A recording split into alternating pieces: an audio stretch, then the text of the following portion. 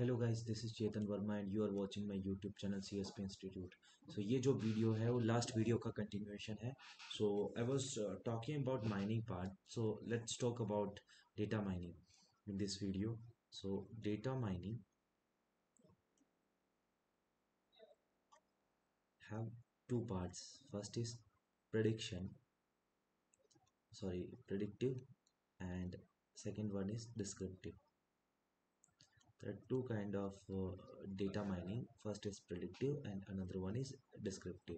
In predictive we we are doing classification is one way of data mining. And another way is uh, prediction obviously because this is predictive. So prediction. Then we have uh, regression. Okay then we have uh, time series analysis. Time series analysis okay?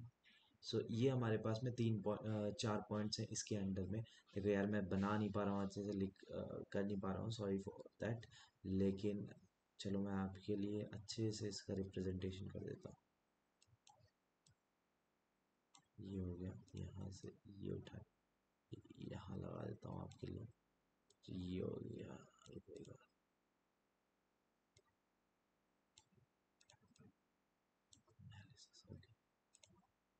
इसको erase कर देता हूँ, ठीक है? तो ये चार हो गए प्रेडिक्टिव के पार्ट में, ठीक है? और आगे मैं बनाता हूँ एक और, जो कि है क्लस्टरिंग डिस्क्रिप्टिव में क्लस्टरिंग हो गया अपना। क्लस्टरिंग दूसरा हो गया हमारा summarization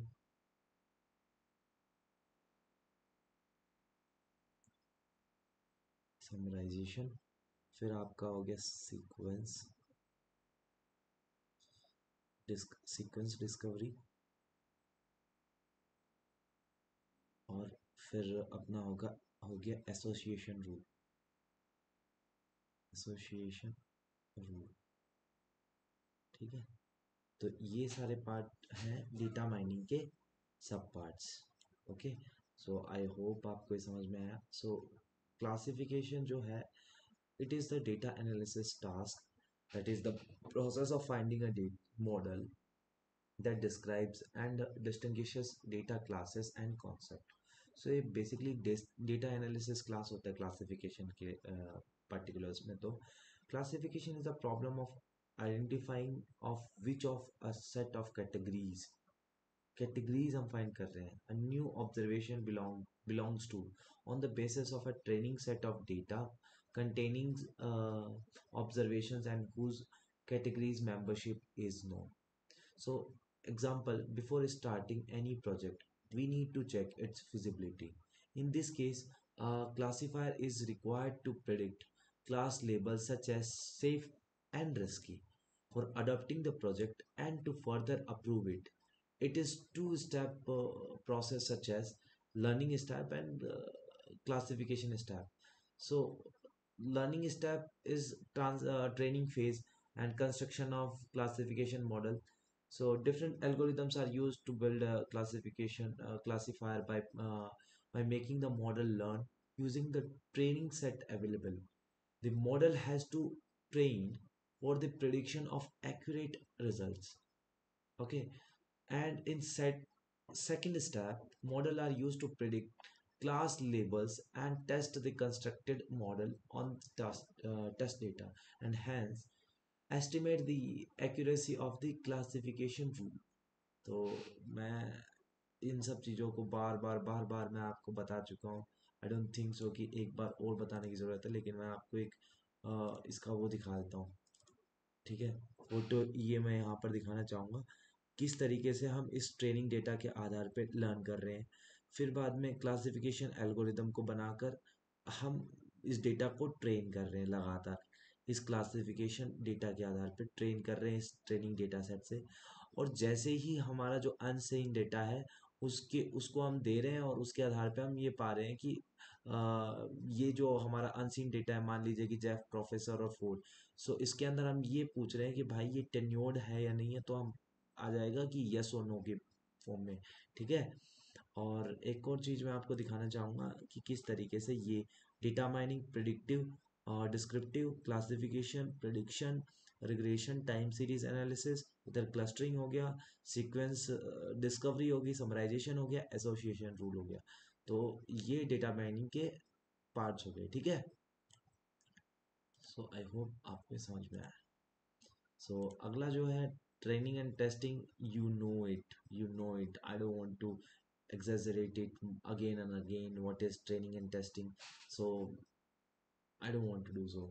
So then there are certain data types associated with data mining कुछ सर्टेन आपके वो हैं डेटा टाइप्स हैं, जो कि एसोसिएटेड हैं डेटा माइनिंग के साथ में that actually tells us the formats of the file कि फ़ाइल का फॉर्मेट क्या है whether it is text format और numerical format so such as attribute attribute represents different features of an object different types of attributes are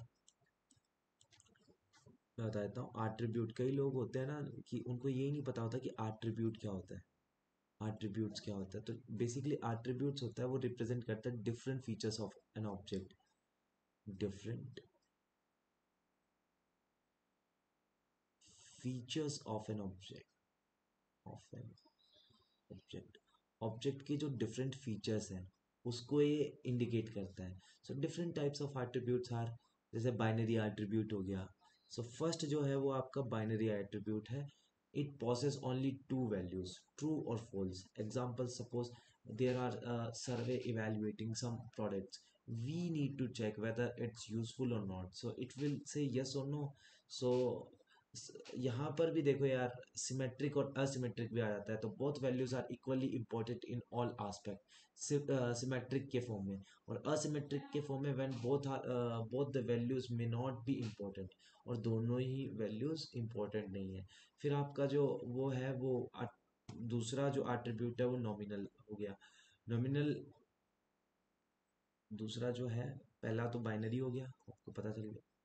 दूसरा आपका है nominal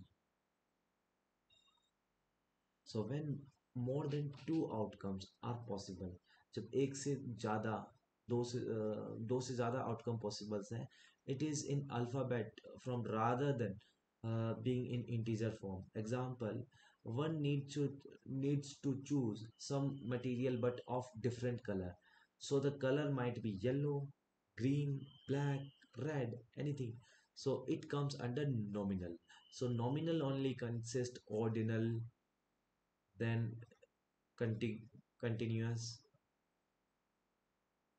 and then discrete okay so we have already talked about these kind of things ordinal means it consists uh, certain order okay but uh, उनकी और सब चीज़ें वहाँ पर कई चीज़ें मिसिंग होती है कि इनकी कोई मतलब एक डिफरेंस नहीं है इनके अंदर, कोई सर्टेन डिफरेंस आप निकाल नहीं पाओगे, ठीक है? कंटिन्यूस में एक ऑर्डर तो है ही है, साथ में डिफरेंस वगैरह ये सब निकाल पाओगे और बीच बीच में जिस तरीके से यहाँ पर ऐसे भी लिख सकते हो आप two three five point two five fifty point two five इस तरीके से, लेकिन डिस्क्रीट है कि भाई साहब डिस्क्रीट मतलब डिस्क्रीट वो है इंटीजर वैल्यू तो कंटिन्यूस हो गया रियल नंबर भी कंटिन्यूस कंटिन्यूस वैल्यूज़ भी होती हैं, ठीक है? फिर है सिंटेक्स हम बात करते हैं मैथमेटिकल नोटेशंस की. So classification is based on building a function taking input features as an vector like it takes vector as an x, okay? And predicting its outcomes. So, that is y. so this is qualitative uh, response taking values in set c here classifier or uh, model we can say is used which which is a survived function sorry यहाँ पर जो classification है ना वो use होता है और classifier एक यूज़ होता है जो कि एक सुपरवाइज फ़ंक्शन है and it can be design manually based on the expert knowledge इसको हम एक्सपर्ट्स के नॉलेज के आधार पे भी बना सकते हैं यार।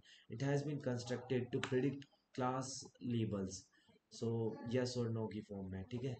So classifier can be categorize into two major types एक तो हो गया डिस्क डिस्क्रिमिनेटिव और दूसरा हो गया जनरेटिव एक सेकेंड जो आपका क्लासिफायर है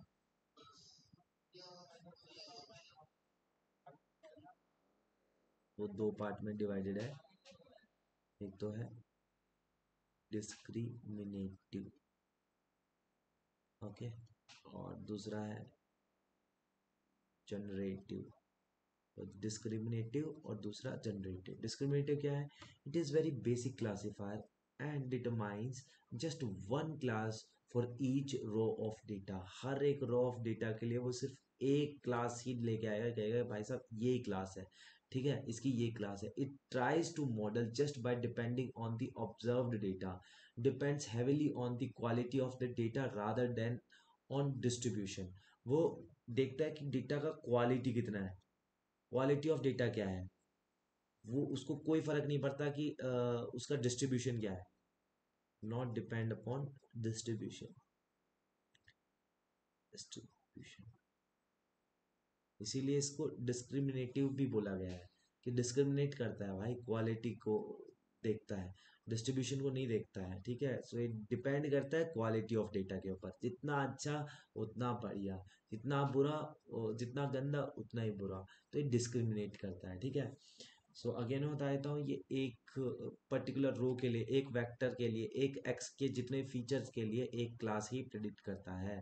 ठीक है भाई? जनरेटिव क्या हो गया?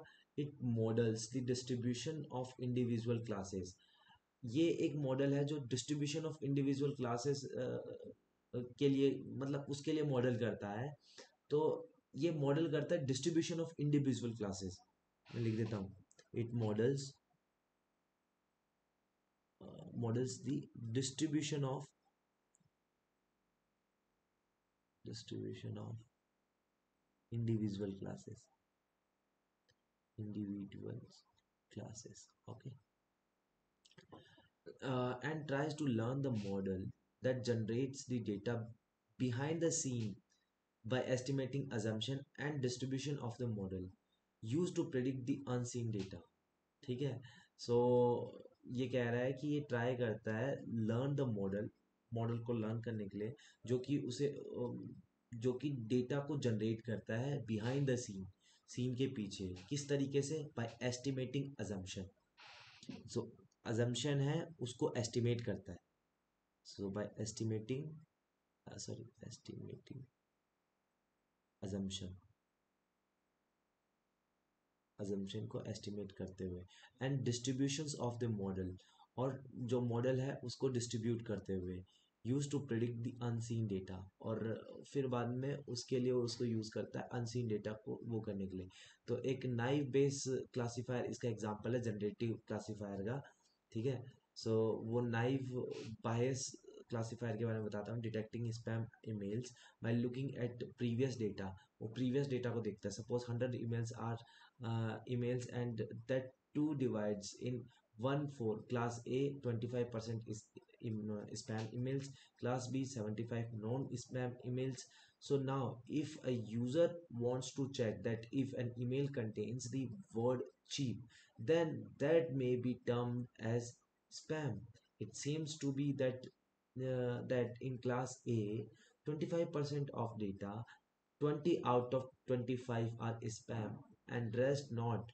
And class b 75% of data 70 out of 75 are not spam and rest are spam so if the email contains the word cheap what is the probability of it being spam it's around 80 percent that's it so this is called generative classifier so i hope आपको समझ में आया classifier is divided into two parts discriminative and generative so classifiers of machine learning Classifiers जो है machine learning के, वो ये हैं डिसीज़न ट्री हो गया बेस क्लासीफायर्स हो गया न्यूरल नेटवर्क हो गया। भाई, ये एक्चुअली है ना डिस्क्रिमिनेटिव और जनरेटिव के एक पार्ट है। मतलब इन्हीं को ही डिस्क्रिमिनेटिव और जनरेटिव भी बोला जाता है। तो न्यूरल नेटवर्क हो गया, इसके अंदर ये टेक्निक बता रहा है कि यार, ये कौन सी टेक्निक को यूज़ करेगा? डिस्क्रिमिनेटिव को यूज़ करेगा या फिर बाद में जनरेटिव को यूज़ करेगा? के नियरेस्ट नेबर हो गया एसवीएम हो गया लीनियर रिग्रेशन हो गया लॉजिस्टिक रिग्रेशन हो गया तो वो सब वाली बात है। एसोसिएटेड जो टूल्स एंड लैंग्वेजेस हैं use to mind extract useful information from raw data main language जैसे होगी आर होगी सास होगी पाइथन होगी एसक्यूएल होगी। मेजर जो टूल यूज़ हो रहे हैं वो रैपिड माइनर हो गया ऑरेंज हो गया कमाइन हो कमाइन हो गया स्पार्क हो गया विका हो गया। फिर लाइब्रेरीज जो यूज़ हो रही है वो Jupyter NumPy Matplotlib pandas scikit learn flow C Seaborn basemap etcetera ठीक है? सो so, ये सब चीज़ें इसके अंदर होती हैं। सो so, यही है यही था भाई आपका। अगर मैं आपको इसका एग्जांपल दूँ सो so, इसका एक रियल टाइम एग्जांपल है। तो so, चलो गाइज़ अब बात करते हैं रियल टाइम एग्जांपल्स की। सो रियल टाइम एग्जांपल की बात करूँ तो मैं सबसे पहला मेरे पास में है market based analysis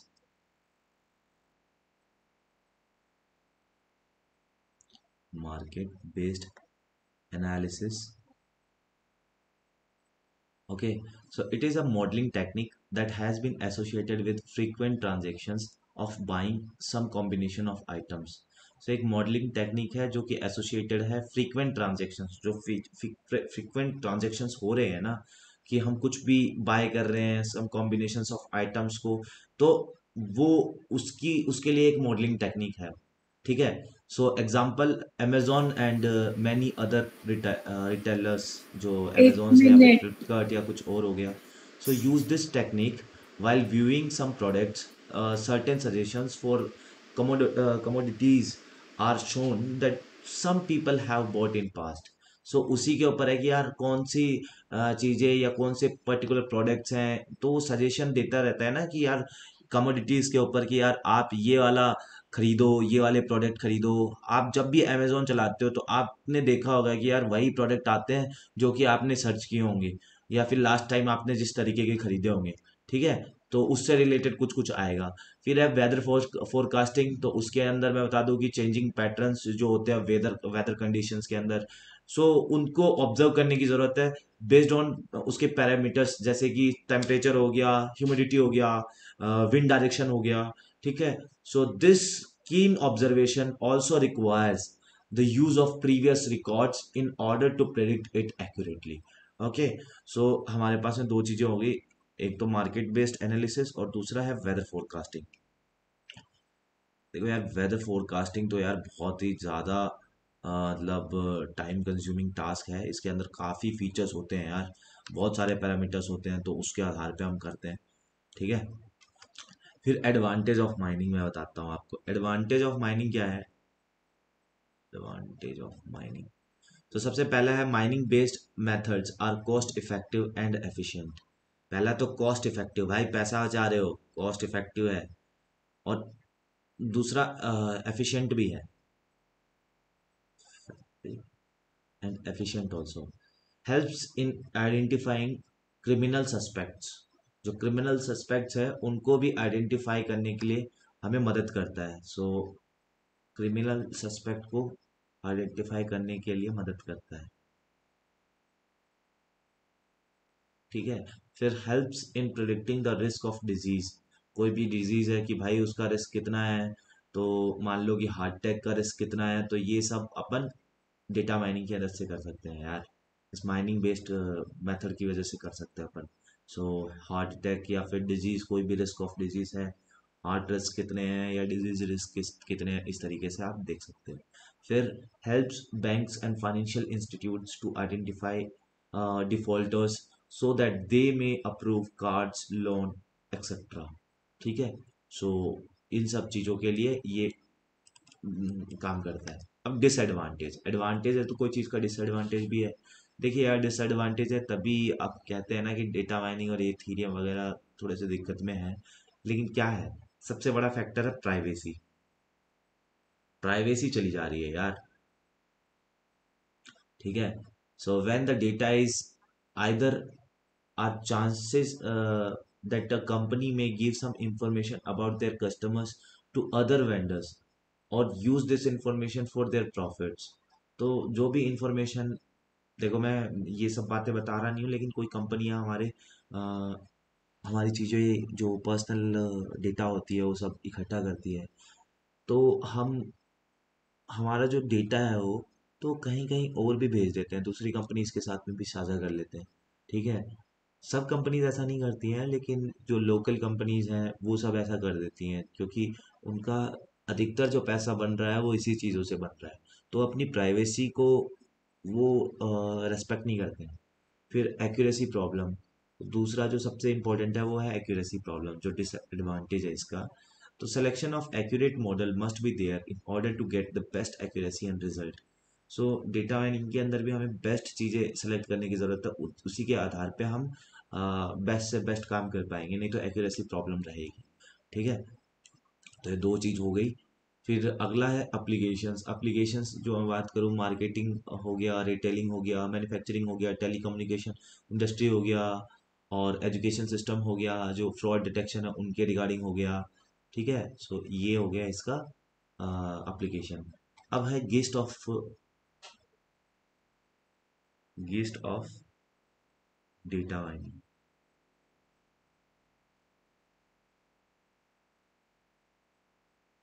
guest of data mining क्या है? Choosing the correct classification method like decision tree Bayes Bayesian networks और न्यूरल नेटवर्क ये तो पहली चीज़ होगी दूसरी चीज़ है कि need a sample of data where all class values are known then data will be divided into two parts a training set and a test set.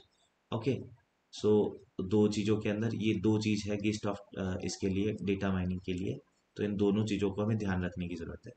Now the training set is given to a learning algorithm which drive a classifier then the classifier is tested with the test set where all class value are hidden if the classifier classifies most cases in the test set correctly it can be assumed that it work accurately also on future data else it may be the wrong model chosen so this is about data mining data mining के बारे में अगर आपके पास में कोई भी doubt है तो देखो यार कमेंट करो। लेकिन यार, ये तो एक बेसिक वीडियो था, जिसके अंदर मैंने डेटा माइनिंग के बारे में बताया। डेटा माइनिंग छोटा सा टॉपिक नहीं है एंटायर समंदर है यार। मैंने तो छोटी सी चीज़ बताई कि यार क्लासिफिकेशन के प्रोस्पेक्टिव से डेटा माइनिंग को एक्सप्लोर किया। देखो क्लासिफिकेशन डेटा माइनिंग के अंदर भी प्रिडिक्टिव और प्रिडिक्टिव के अंदर क्लासिफिकेशन था। तो मैंने सिर्फ़ एक पॉइंट को आपके सामने लेके आया हूँ मैं। इसके खूब सारे पॉइंट्स हैं। सो so, ये एक बेसिक कॉन्सेप्ट था क्लासिफिकेशन का डेटा माइनिंग के प्रोस्पेक्टिव से ठीक है? So this is it about classification so next video में मैं आपको बताऊँगा रिग्रेशन जो है और उसी के जो टाइप्स हैं और उसकी जो टेक्निक है ठीक है? So thank you and have a good day